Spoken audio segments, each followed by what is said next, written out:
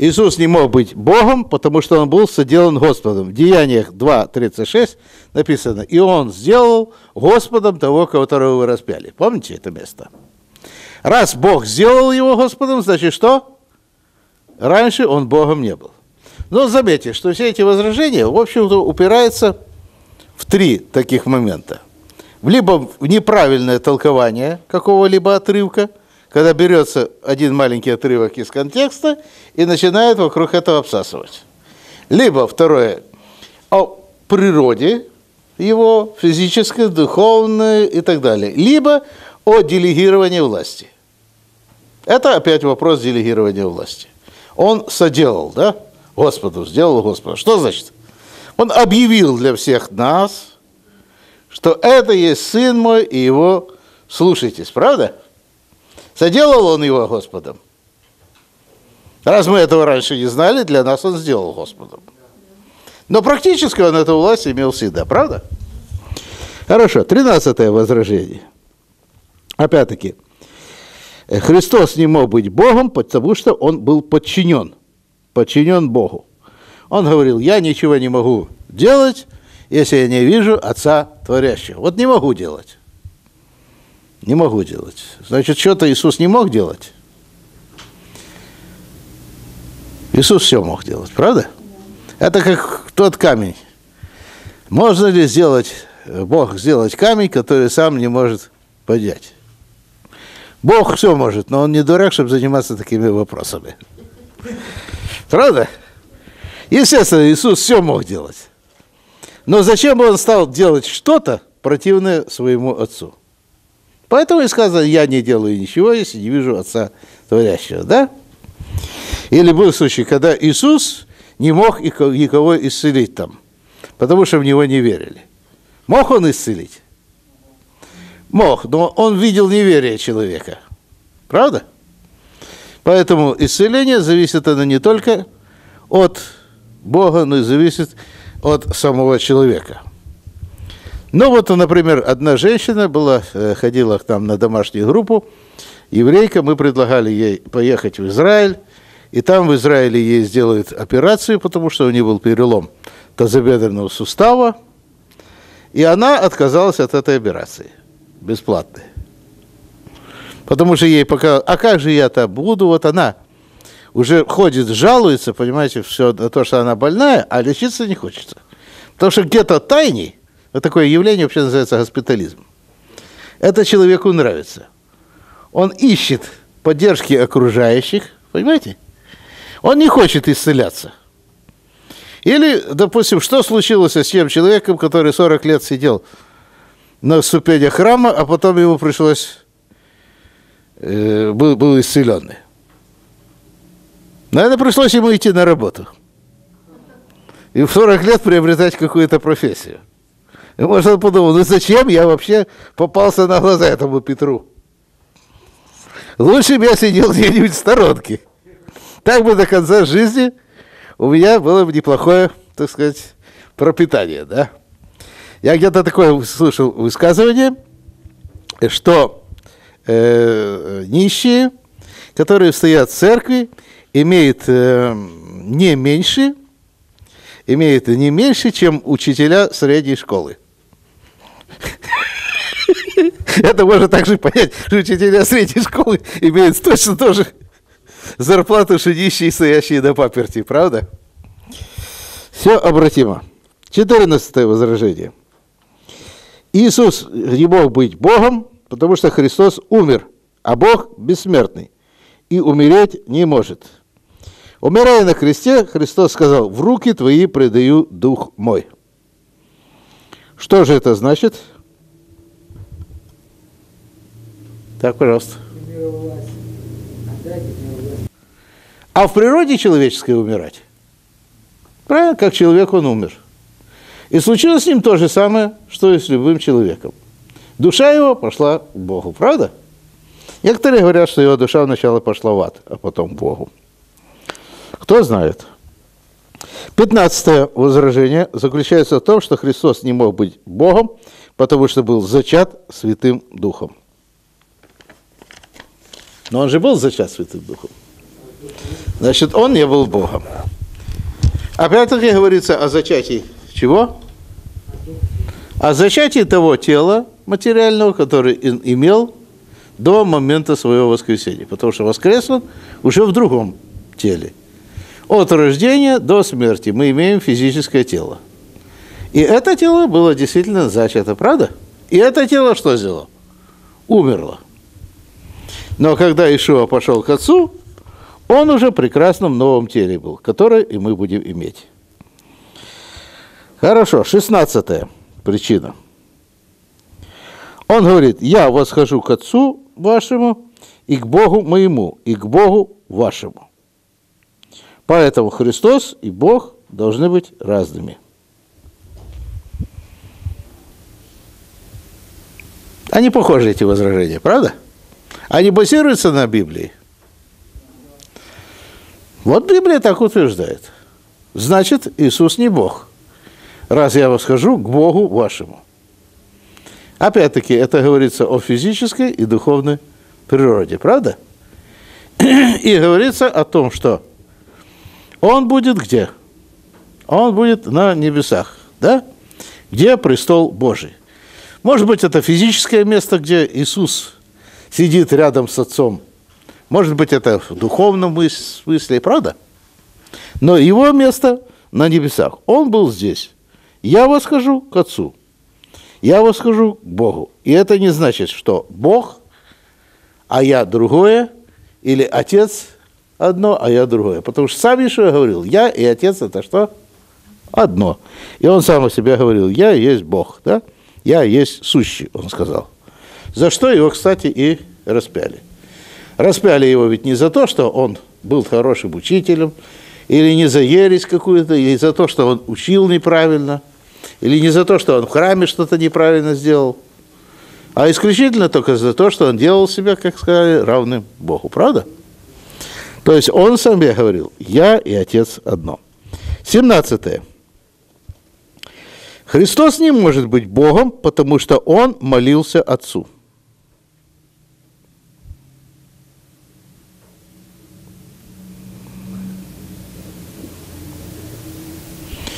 Интересно, да?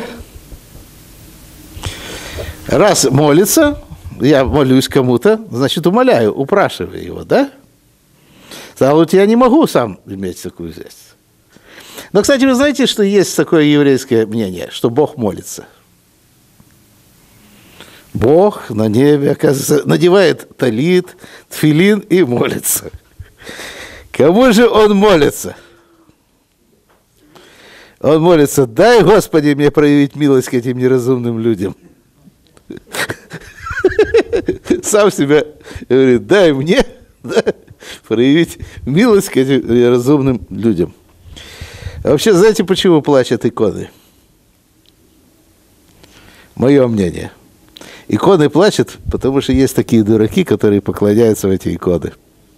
Они этим выдержать не могут и плачут. Так что так вот и Бог молится, да? То есть мысленно, как говорится, тихо сам собой веду беседу. Если мы порой сами с собой размышляем, то тем более Бог, Отец и Сын могли общаться друг с другом, будучи одним. Хорошо. Христос не может быть Богом, потому что если бы он был Богом, то было бы больше, чем один Бог. Ну, это понятно, это все то, что мы говорили в Троице, да? Три в одном. Безусловно. Девятнадцатое возражение. Да, восемнадцатое, что Христос не может быть Богом, потому что тогда было бы больше, чем один Бог. Потому что некоторые евреи говорят, что христиане идолопоклонники поклоняются трем богам. А некоторые говорят, что четырем, включая Матерь Божью. Правда? Матерь Божью возвели в такой же ранг, как и самого Иисуса. Я не буду сейчас говорить, правильно это или неправильно. Я думаю, что мы эту женщину должны почитать, безусловно, как величайшее почтение. Но единственный посредник между нами – Ишуа Мессия. И не сказано о посредничестве Девы Марии или кого-то другого. Хорошо. Девятнадцатое возражение. Иисус не мог быть Богом. Оказывается, он был вообще идеей которое не имело материального существования и материальной формы в начале. Потому что Слово было Бог. Это ересь, между прочим, родилась еще в 325 году и называется докетизм. И сейчас эта ересь, она возрождена, потому что эта докетическая ересь еще объявлена уже учением в 325 году.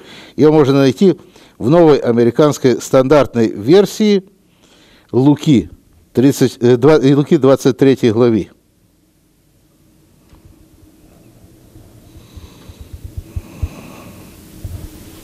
Интересно, да?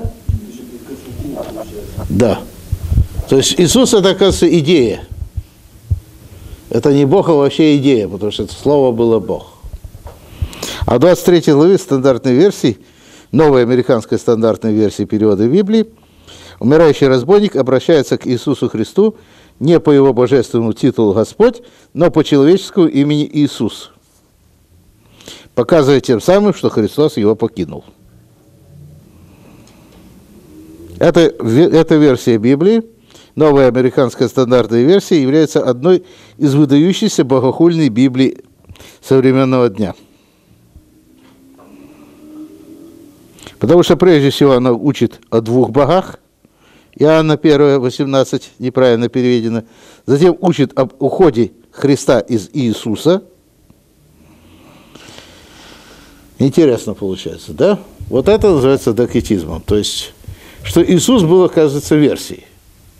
Иисус физически был, то есть версия, как это, духовным, духовной идеей.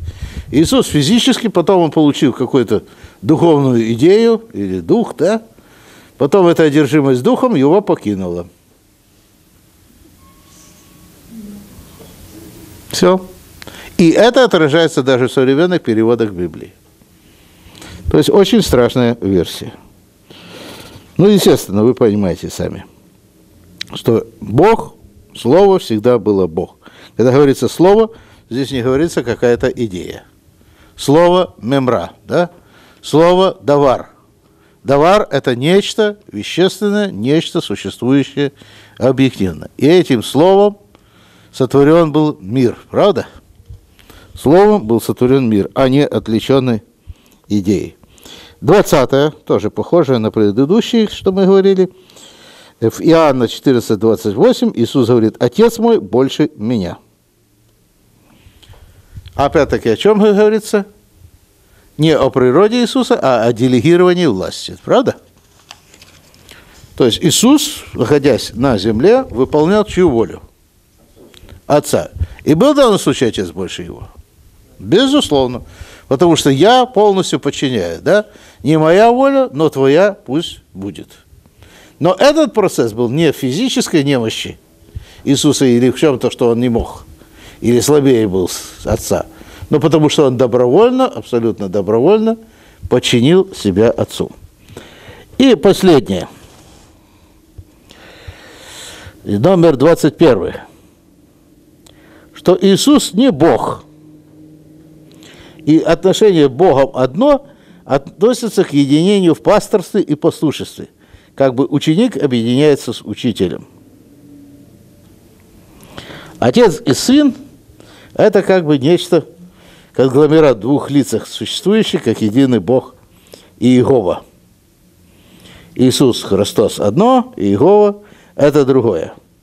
Господь Иисус Христос – это альфа и омега начало и конец. И это, мол, как бы два Бога. Видите? Есть очень много разных рассуждений. Я еще не все вам привел, чтобы вы, бедные, не устали. Поэтому давайте... И на завтра мы уже будем разбирать отношения с христианами. Пожалуйста. Следующий подпункт, который у нас будет развитие концепции Мессии. Развитие концепции Мессии. Ну, вы знаете, что развитие концепции Мессии не потому происходило, что люди сидели и придумывали. А что мы, мы еще новое о Мессии придумаем, правда? Это чем-то подобно тому процессу, когда изображение уже существует на фотобумаге. Правда? Оно, оно в скрытом виде. Мы ложим эту, эту бумагу в проявитель. Кто-то занимался фотографией? Мне всегда очень это было интересно. Когда смотришь, ничего нет. А потом вдруг начинает появляться изображение. Сначала какие-то контуры, потом становятся четкие, четкие, потом наконец-то мы видим прекрасную фотографию. Правда, как это замечательно? Вот это и получается развитие концепции Мессии. Это не значит, что сидели и придумывали евреи. Чего бы еще придумать о Мессии, правда? Итак, хорошо. Традиционная картина прихода Мессии, мы говорили, что Мессия восстановит Израиль, да, будет мир во всем мире, и что установит царство Израиля. Можем ли это найти вещи в Библии?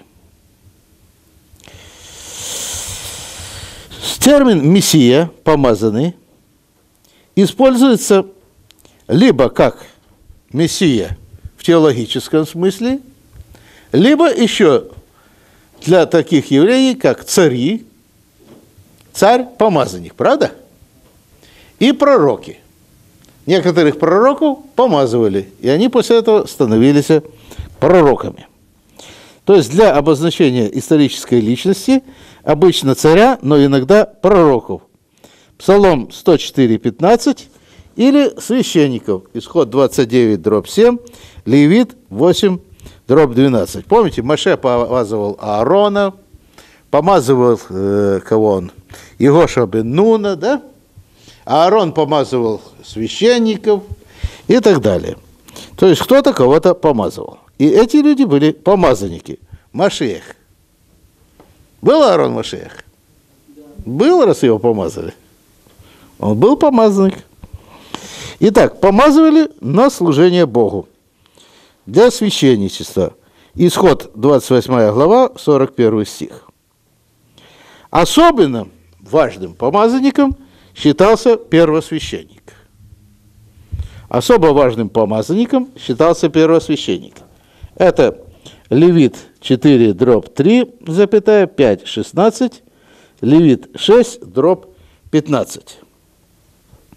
Было время, когда в Израиле не было царя. После того, как в Израиле появились цари, их тоже стали называть помазанниками.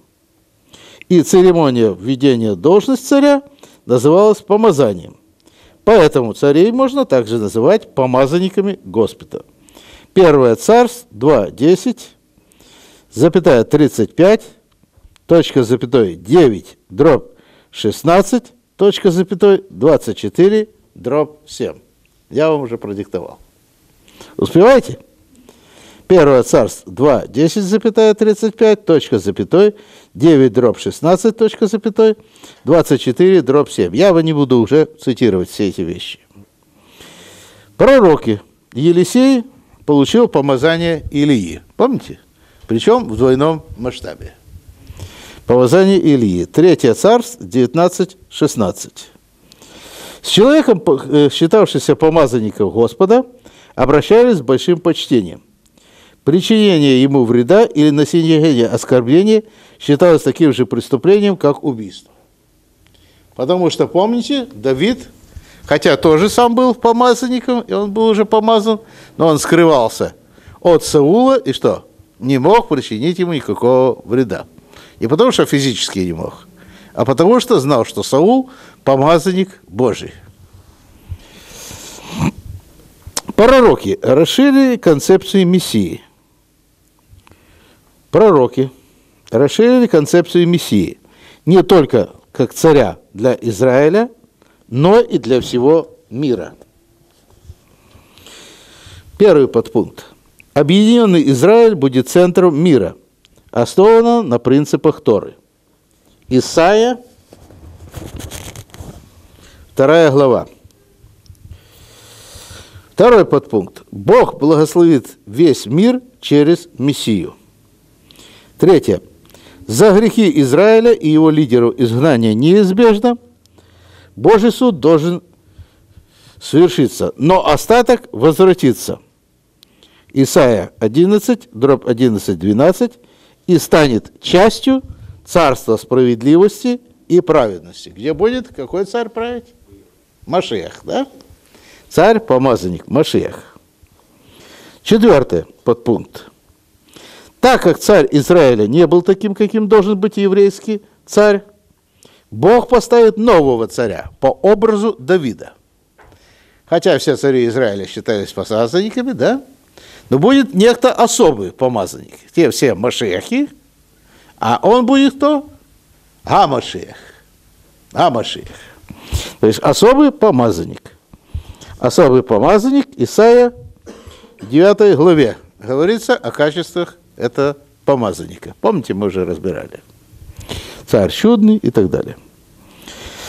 Главное, если мы можем так среди пророков найти главный пророк, который пророчествует о Мессии, это кто?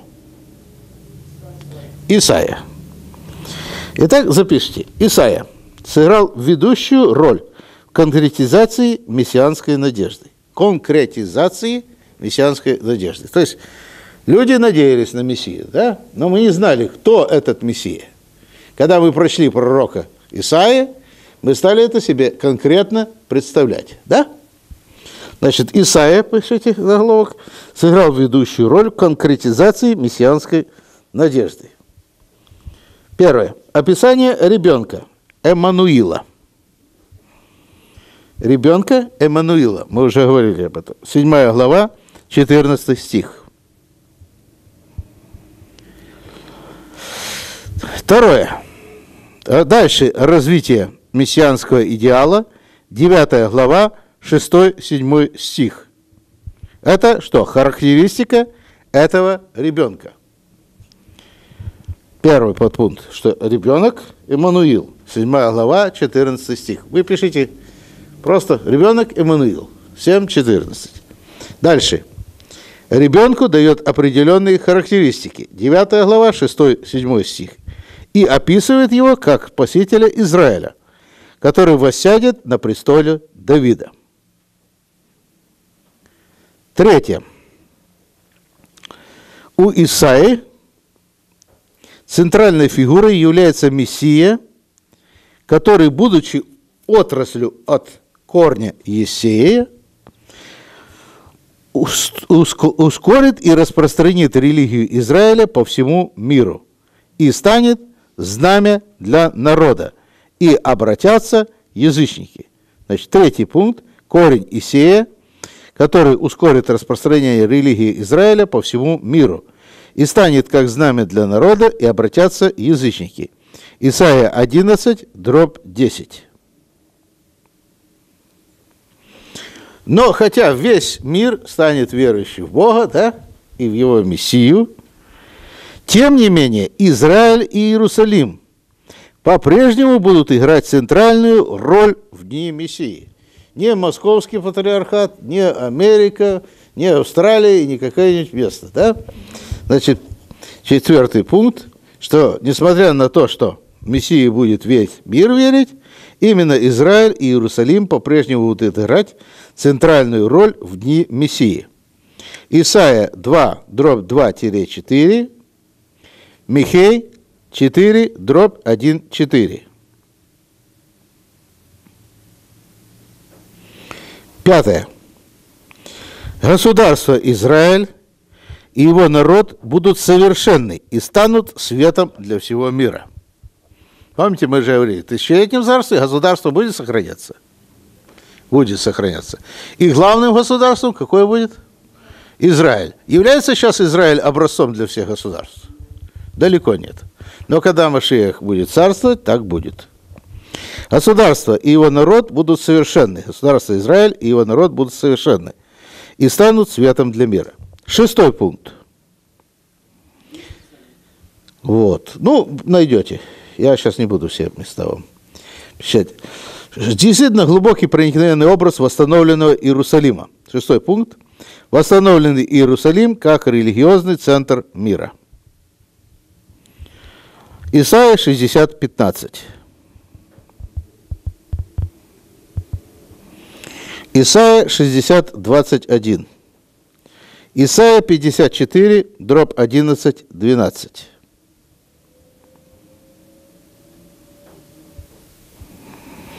Седьмой пункт.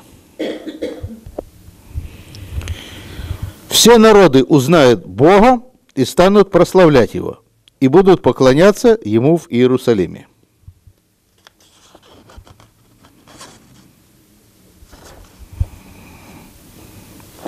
Исайя 45, дробь 6, 56, дробь 7, 66, дробь 23.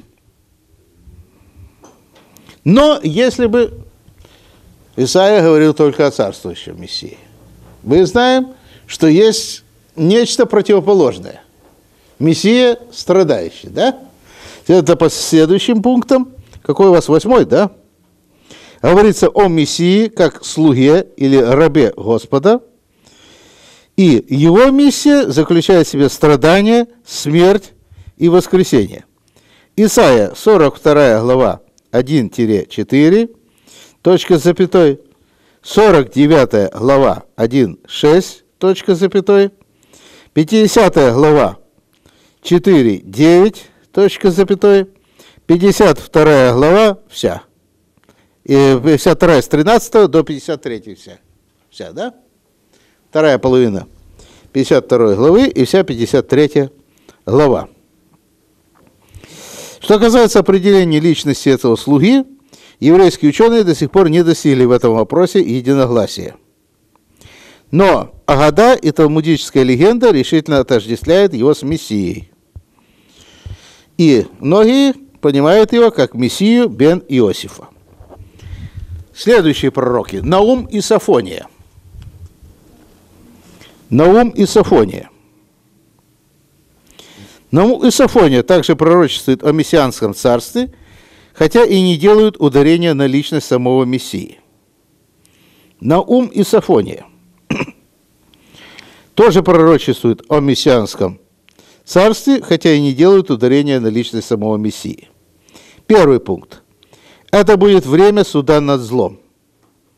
Сафония 1 дробь 15, 2 дробь 10, 3 дробь 7. Время суда над злом. Второе. Это время духовного возрождения всего мира. Сафония 3.8. Сафония 3.8. Третье. Это время праведного остатка. Это время праведного остатка. Сафония 3, 12, 13. И это время, когда Бог будет царем Израиля. Сафония 3, 15. Где это у Наума, вы сами поищите. Иеремия. Иеремия. Иеремия говорит первое о том, что Бог никогда не отвергнет Израиля. Иеремия 31, ну, 31, молодцы. Царь из дома Давида будет править справедливо, пункт 2. Иеремия 32, дробь 14. И все народы соберутся перед Богом в Иерусалиме. Я не даю вам всех сносов, понимаете, их очень много. Ключевые соберутся перед Богом в Иерусалиме. Иеремия 3.15, 30, дробь 3. Пророки изгнания. Пророки изгнания. Кто такие были пророки изгнания? Ну, Езекииль, Даниил и Иоиль. Пророки изгнания. Значит, для того, чтобы произошло Божье Царство, должны быть чудесные действия.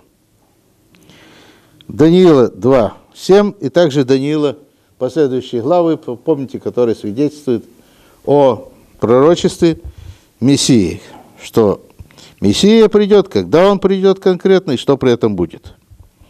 Иезекииля, 37 глава, 11-14. И Иоиль, Иоиль, 2 глава 28-31, говорит о свидетельствах, которые будет. Так, где Иоиля произошло пророчество Иоиля? В Деяниях апостолов. Помните? Да, изъявил Дух Святой на всякую плоть. Поздние пророки. Поздние пророки – это от времени возвращения и восстановления Израиля после Вавилонского плена. Особенности их. Эсхатологическое спасение стало ассоциироваться с концом дней. Первое. Спасение ассоциируется с концом дней.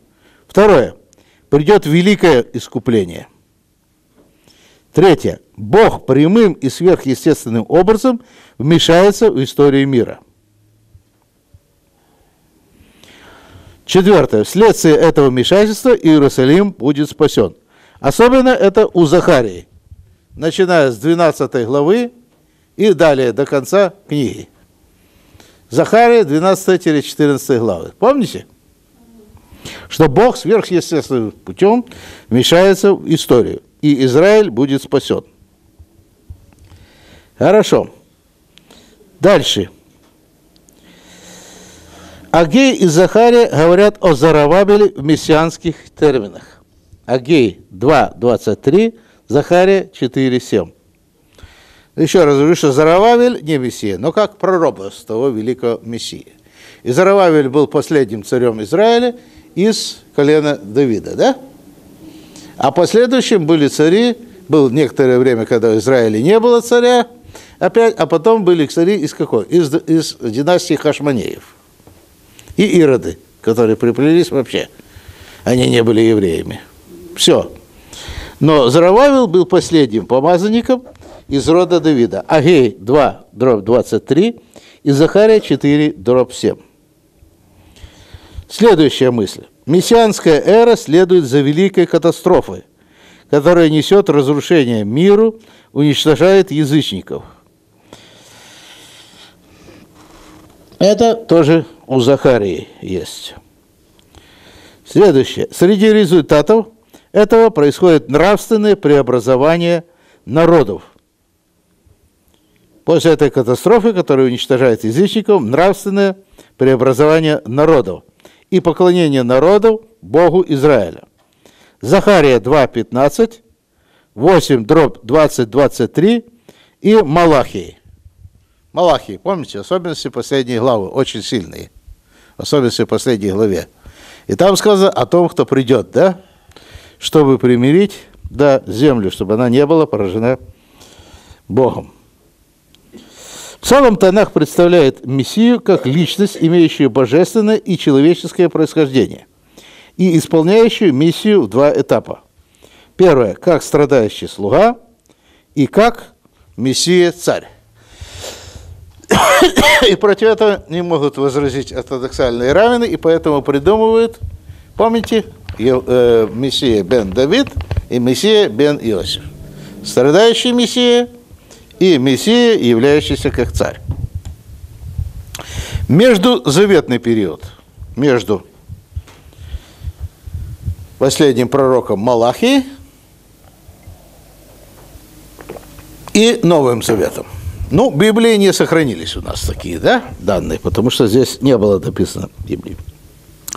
Но вера в Мессию резко укреплялась. Чем больше страданий у народа было, тем больше укреплялась вера в Мессию. Вера в Мессию особенности укрепилась, когда анет римского правления было, правда? Вот. И почему же не приходит Мессия? Это вопросы задавали себе все – Садукеи говорили, что мы неправильно делаем все в храме. Фарисеи говорили, что мы недостаточно святые для этого. И они стремились освещаться и освещаться и освещаться. Есеи говорили, мы недостаточно отделились от этого мира. Поэтому они отделялись и уходили в пустыню. Да?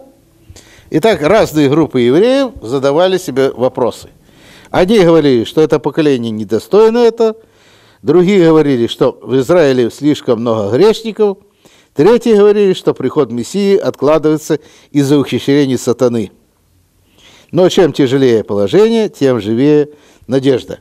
Кульминация возникла, когда пришел Ишуа Мессия. Пришел Ишуа Мессия. И помните, он не оправдал оказанного ему равенного высокого доверия. Да? и возникло уныние.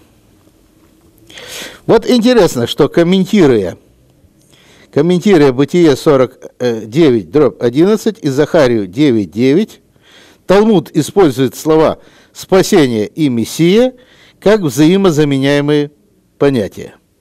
Правда интересно?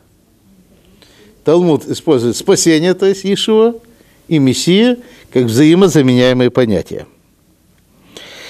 И в других местах Талмуда Божий слуга становится титулом Мессии. После библейский период. После библейский период, вы помните, 70 и 135 года катастрофы, уныние, которое было, и решили, что будет период скорби, называемый мессианскими муками. Помните, родовые муки Мессии. И некоторые говорили, чем хуже, тем лучше. Чем мы хуже живем, друзья, тем быстрее Мессия придет. Потому что не может же Мессия смотреть на муки Израиля. Не может Мессия на муки Израиля. Особенность это обострилась, когда Богдан Хмельницкий уничтожил большую часть евреев Украины. И они сразу поверили в Мессию, но не в того, который нужен был. Правда? Потом пришел Баахшем Тов, который тоже дал, дал уклон в мистику.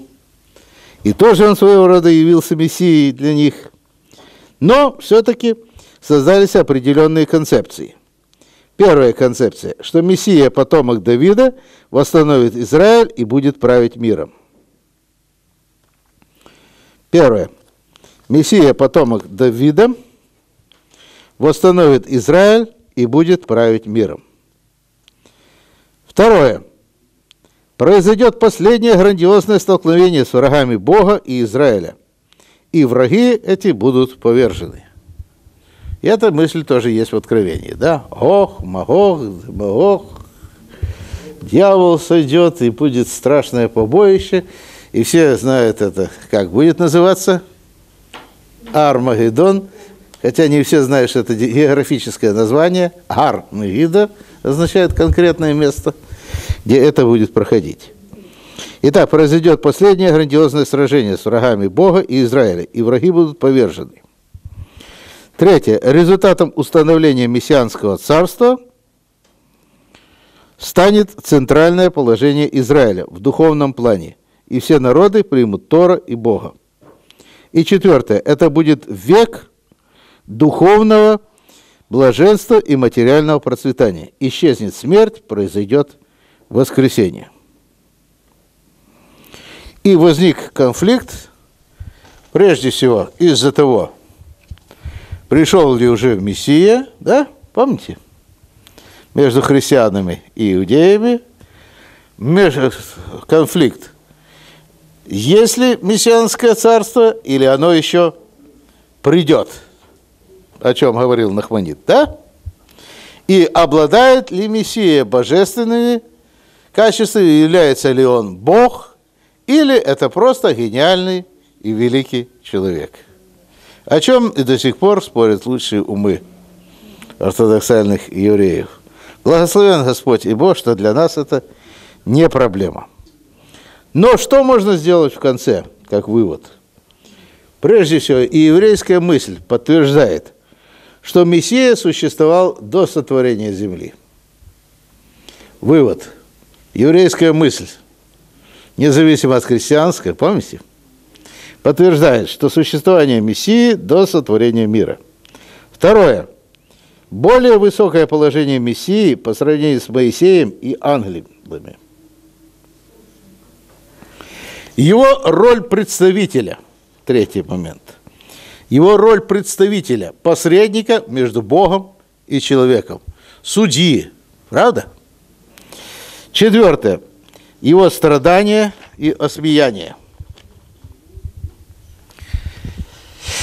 Пятое. Его насильственная смерть, принятая им за свой народ. Где это мы находим? В каком месте мы находим это? Исайя 53 глава. Его действия ради живых и мертвых. Его искупление и восстановление Израиля. Также вражда язычников – суд над ними и обращение, преобладание его закона, то есть закона Мессии. Всеобщее благословение последних дней. И его царство будет во веки веков. Благословен Он.